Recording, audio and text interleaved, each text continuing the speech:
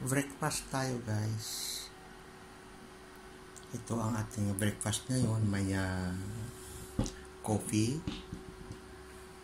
Tapos may uh, tinapay tayo brown bread.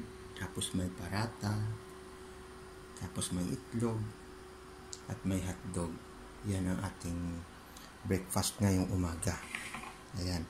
Pagsaluhan natin sa gustong makipag-breakfast sa akin hali kayo kain tayo. Yan, tingnan nyo ang aking uh, diet. Ayan, brown bread, itlog, hotdog, parata, at uh, coffee.